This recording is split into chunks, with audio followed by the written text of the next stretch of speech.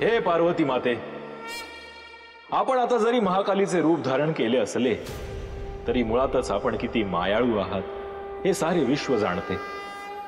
तुम्हाला हे रूप माझ्यामुळे धारण करावे लागले. माझ्या हातात असते, तर मी आता तुमच्या समोर आलो असतो. आपण कोणतीही शिक्षा दिली, तरी ती मला मान्य असणार आहे. परंतु, महादेवांच्या आदेशाचे मला पालन करावे लागते आहे. म्हणूनच या प्रहरी मी तुमच्यापासून दूर जाण्याचा प्रयत्न करतोय. त्यासाठी मला क्षमा करा. एक प्रहर संपल्यानंतर मी स्वतः तुमच्या समोर येईल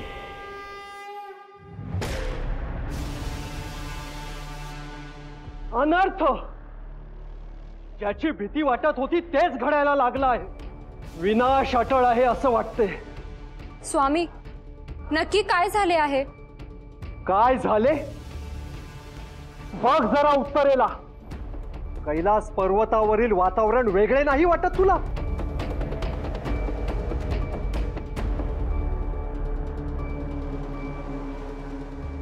होय. नेहमी शांत वाटणारा कैलास आज प्रज्वलित झाल्यासारखा वाटतो आहे. नक्कीच कैलासावर काही ना काही अनिष्ट घडते आहे. म्हणजे या प्रलयाची झळ कैलासापर्यंत पोहोचली आहे. प्रलयाने पूर्ण सृष्टीला घेरले होते. परंतु त्याची कंपने आता कैलासापर्यंत पोचली आहे. महादेवांचे वास्तव्य असलेला कैलास पूर्णपणे हादरून गेला आहे. अहो म्हणजे महादेवांना आणि देवी पार्वती यांना हा महाभयंकर त्रास भोगावा लागत असेल का? श्री महादेवांना त्रास देण्याचा विचार देखील माझ्यासाठी अक्षम्य गुन्हा आहे. आणि शनी तोच गुन्हा करतो आहे. तरी मी त्याला हे करण्यापासून अडवत होतो. तेव्हा तूच त्याची साथ दिलीस. मुलावरची माया आणि विश्वासामुळे तू त्याची पाठराखण करत राहिलीस. याचे परिणाम इतके भयंकर होतील याची मला कल्पना नव्हती. शनीने त्याच्या कर्तव्यापासून माघारी फिरू नये एवढेच मला वाटत होते.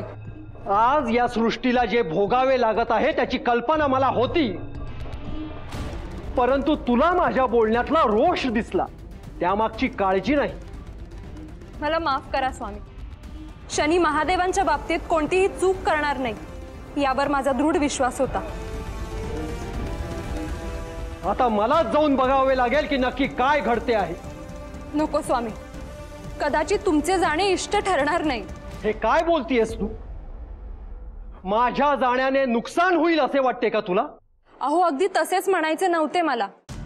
परंतु परिस्थिती आणखी बिघडायला नको. मी आता इथे थांबू शकत नाही.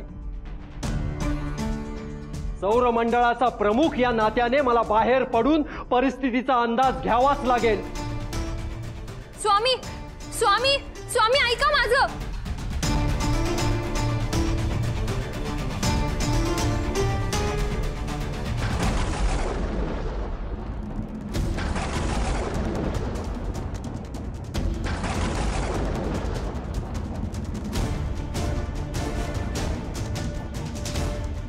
आता पार्वतीने कालीचा अवतार घेतला तर सामोरं कोण जाणार? त्यांचा क्रोध कसा शांत होणार? मला काय करावे सुचेनासे झाले आहे. मातेचे हे रूप घेणे या सृष्टीच्या विनाशाचे संकेत आहेत. त्यांना शांत करण्याचा मार्ग शोधला पाहिजे.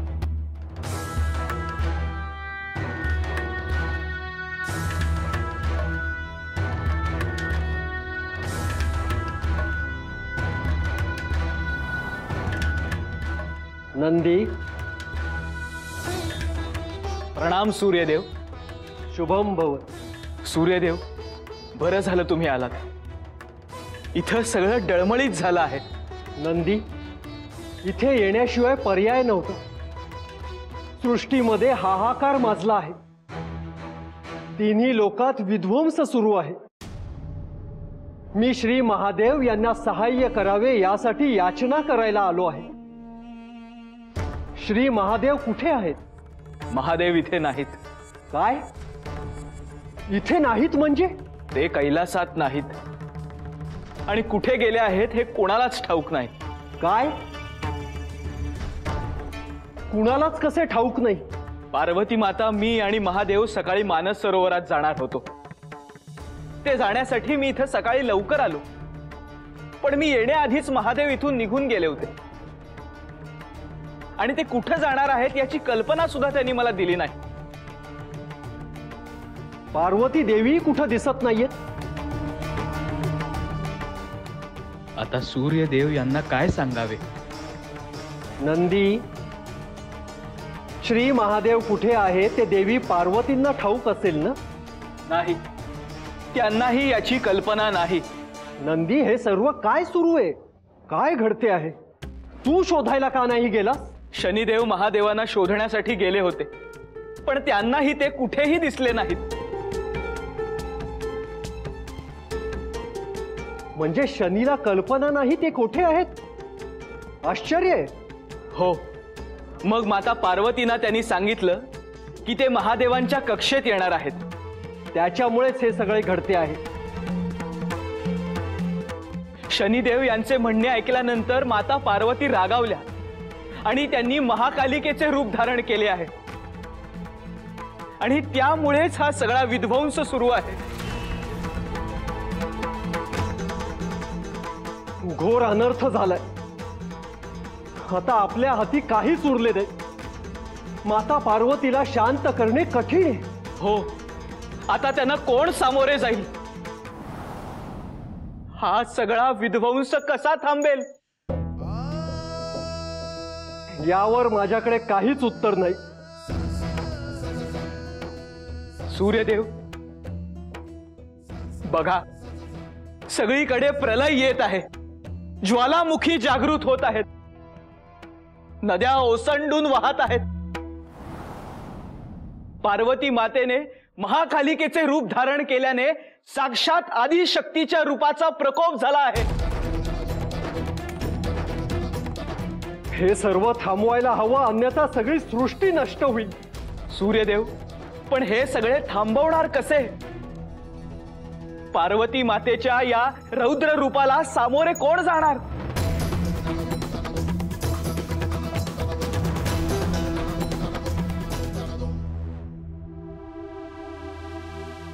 हे श्री महादेव, तुम्ही कुठे आहात? तुम्ही माझे गुरु आहात. तुम्ही असे कुठे गेला आहात ज्यामुळे मला तुम्हाला शोधणे कठीण होत आहे? आजपर्यंत मी माझे कार्य निरपेक्षपणे करत आलो आहे. आणि आपणच आहात ज्यांनी मला हा न्यायदंड न्याय करण्यासाठी दिला आहे. माझ्यावर न्यायदानाचे कार्य सोपवले आहे. मी तुमच्या कक्षेत येऊन तुमची परीक्षा घेणे हे माझे कार्य आहे. यात स्वार्थ नाही. परंतु तुमची भेट होणे अत्यंत आवश्यक आहे.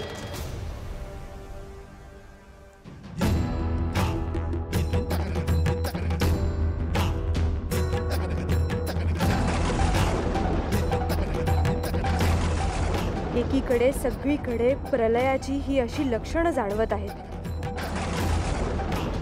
आणि दुसरीकडे पार्वतीने महाकालीचे रौद्र रूप धारण केले आहे. तिला लवकर थांबवलं नाही तर सृष्टीचा विनाश समीप आहे. पण या सगळ्यात महादेव असे स्थितप्रज्ञ का आहेत हे काही केल्या कळतच नाहीये.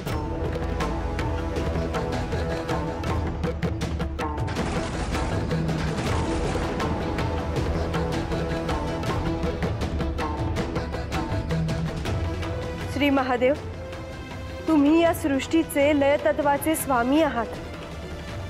भक्ताच्या हाकेला तुम्ही नेहमीच धावून जाता. तुम्हीच या सृष्टीचे तारणहार आहात. जेव्हा जेव्हा या सृष्टीवर संकट आले, तेव्हा तेव्हा तुम्ही ते समूल नष्ट केले. हे प्रभू, तुम्ही कृपा वात्सल्य आहात. भोळे साम आहात. पण या अशा प्रलयाच्या समयी तुम्ही असे स्थितप्रज्ञ का? तुम्ही काहीच का करत नाही? सांगा महादेव का? का ही तुमची एक लीला आहे. नाही गंगा. ही माझी लीला नाही. मग? हे असं घडावं. ही मात्र त्या परम नियतीची लीला आहे. परमनियतीची लीला? होय. हे कधी ना कधीतरी घडणारच होतं. म्हणजे? हे घडणार होतं? याची तुम्हाला कल्पना होती? संकेत होते. पण त्याचे हे परिणाम होतील हे ठाऊक नव्हते. हे श्री महादेव पण अजूनही वेळ गेलेली नाही. जर आता तुम्ही यात हस्तक्षेप केला नाही तर महाकालीच्या क्रोधाने ही सर्व सृष्टी नष्ट होऊन जाईल. यात हस्तक्षेप या क्षणी तरी मी करू शकत नाही. त्यासाठी मला सुद्धा प्रतीक्षा करावी लागेल. अजून किती प्रतीक्षा करायची आहे महादेव? हा प्रहर संपायची.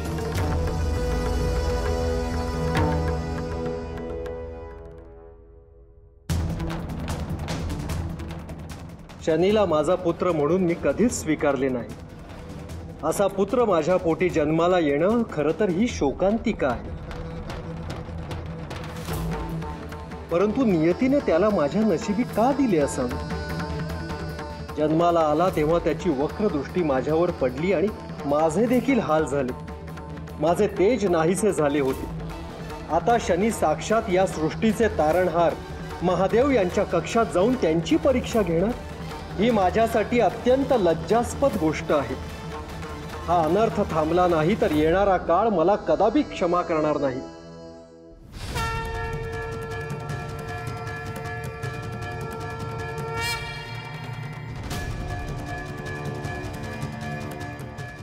हे माता महाकाली, माझा प्रणाम स्वीकार करावा.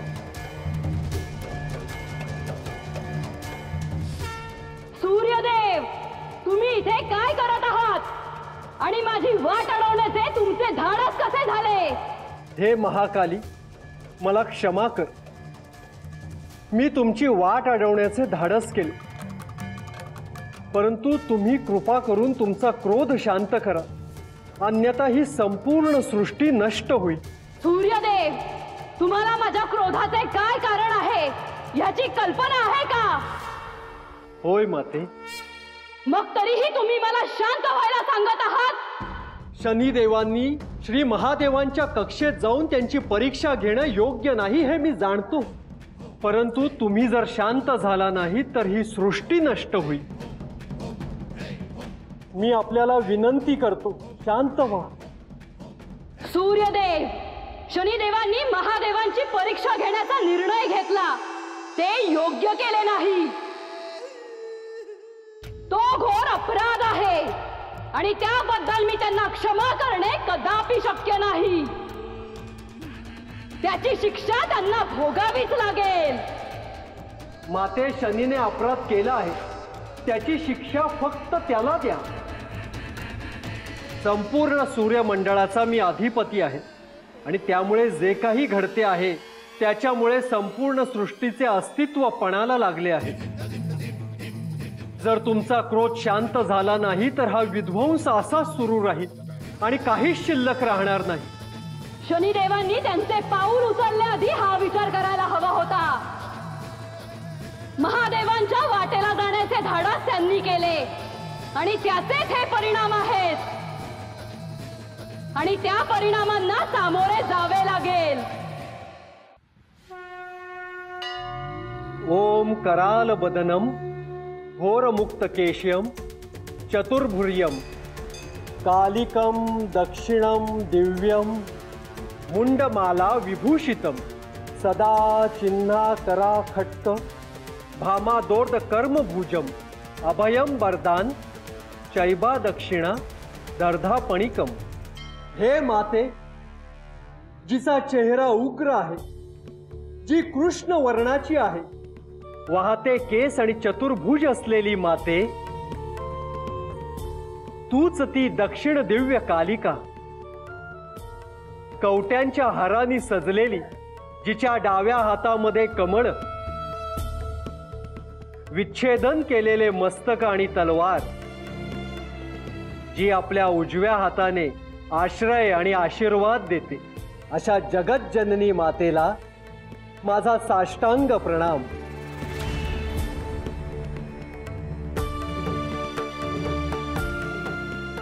जगत प्रसूते द्रुहिणम यदार्चा प्रसादत पतिसुरारहंता अंते भवहंती भवप्रशांते ता कालिका प्रातरहा भजामी।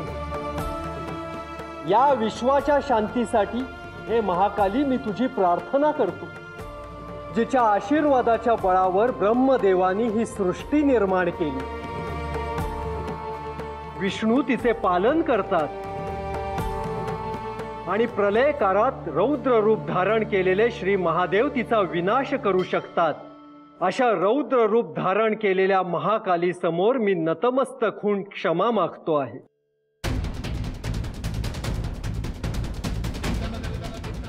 हे माते शांत हो शांत हो.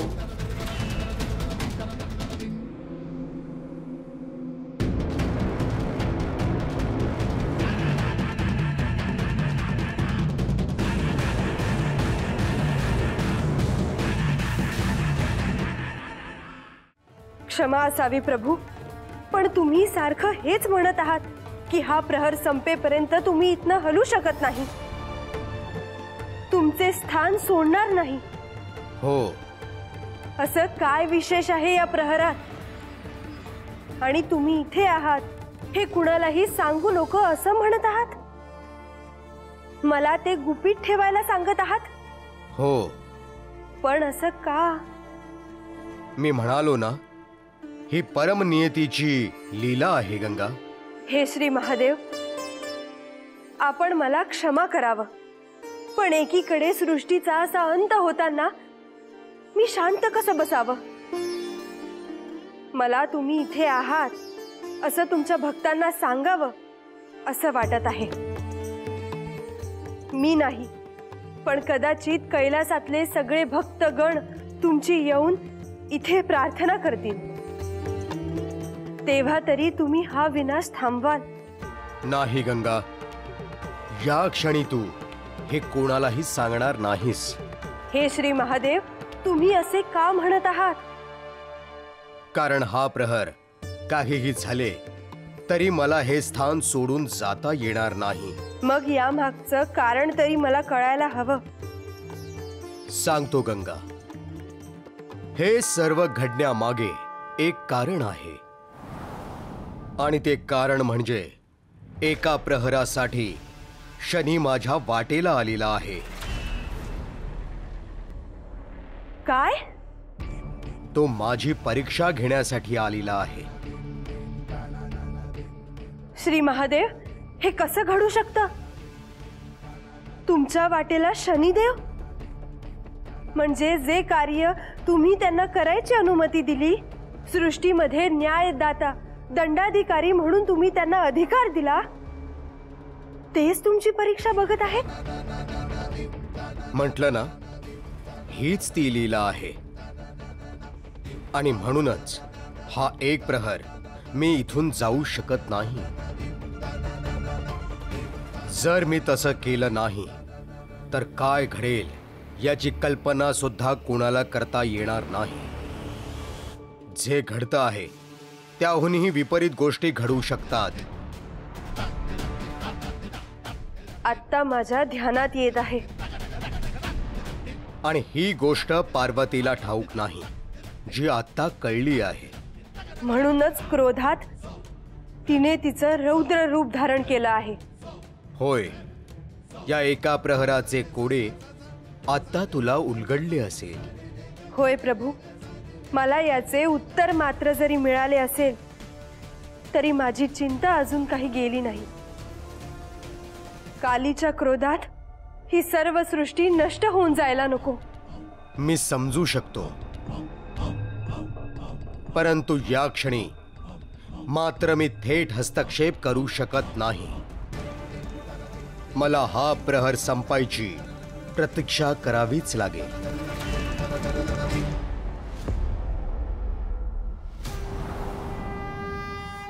हे श्री महादेव, तुम्ही माझे गुरु आहात. तुमच्याकडून मला ज्ञान प्राप्त झाले आहे.